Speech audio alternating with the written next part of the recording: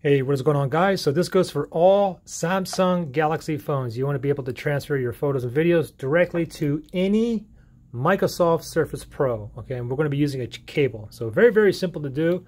Uh, first thing I want to note is, you know, uh, for, for example, this is a uh, Microsoft Surface Pro 7, and I have two ports on here. I have a USB-A port, and I also have a Thunderbolt 3. Okay, so with the Thunderbolt 3, it's basically like a USB-C connection. So if you have one of these, USB-C to USB-C, you'll be able to transfer uh, photos and videos that way. The only thing is, I mean, for some phones, it, it, it, it works, okay? For uh, other phones, it doesn't work. For example, for some reason, when I go ahead and use this USB-C to USB-C, it'll work on my new Samsung Galaxy S20.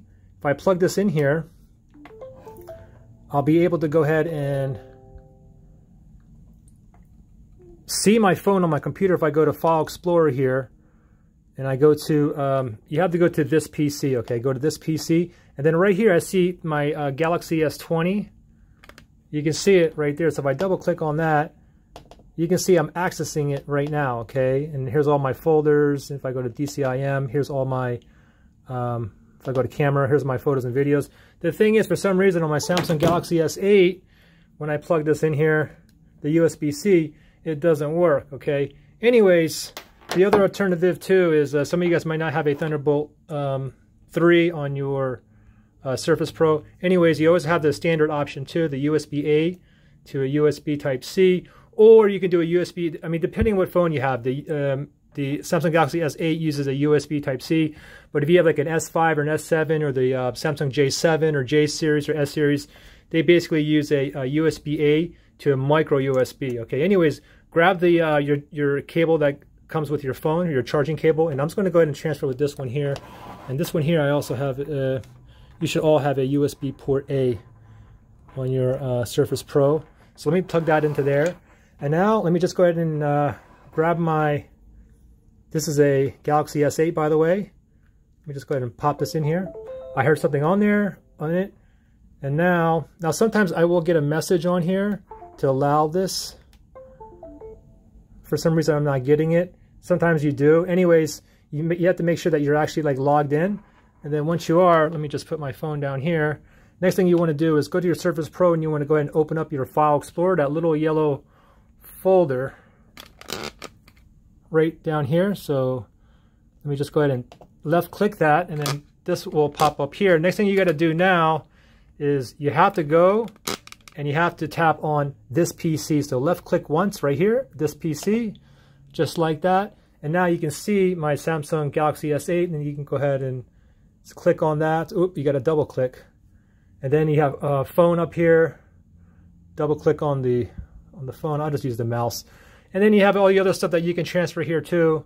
If you want to transfer uh, like music, uh, movies, shows, uh, ringtones, other data, uh, other work information, stuff like that. Anyways, for this video, we're just going to transfer photos and videos. Uh, those would be under the folder called DCIM. So I'm going to go ahead and double click on that.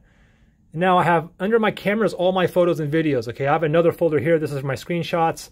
And if I did any um, screen recording on my S8, then I would have another folder here. Okay, anyways, I'll go to camera here, and these are all my photos and videos that are stored locally on my phone. And so from here, it's just like a Windows computer, uh, a typical Windows computer. If I, if I wanted this, um, this file right here, I can just drag and drop it onto the desktop and drop it. And you can see it transferring right there. I'll go ahead and let that one transfer really quick and then voila. So it's, it's a video, it's up here.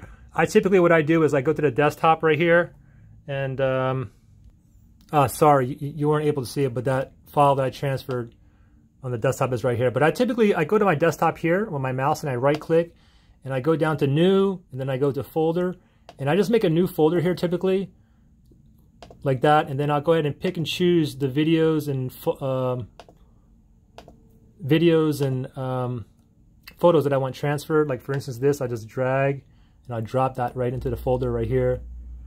And then go ahead and let that like transfer. Okay, it's just about done. So I'll go ahead and double click that folder, that new folder I made. And what is this? I have four files in here.